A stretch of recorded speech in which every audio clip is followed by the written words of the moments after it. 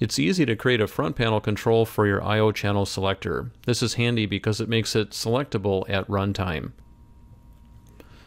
This technique works for any I.O. type, digital, analog, pulse width modulated, etc. For the purpose of this demonstration, I'll be using a digital output. I'll begin by looking at the digital output express VI.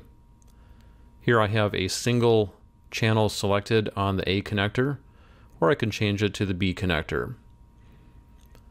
We see here, looking at that express VI, that if you decide to change your mind and place the digital I.O. on, say, the C connector, you can certainly do that, but it's always hardwired into the block diagram.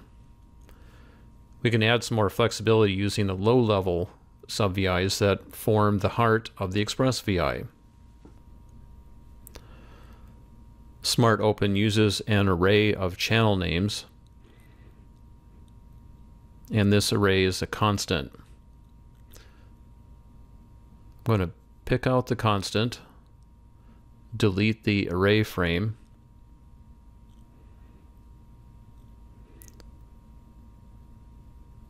and because open is expecting an array at all times, even if you're only using a single channel, we'll need a build array node inserted between the two. Now here's the interesting part. I'm going to right click on that and change it to a front panel control. Now we have a menu selector that says which channel would you like to work with and that way you do not need to recompile the code each time you change your mind on the digital output.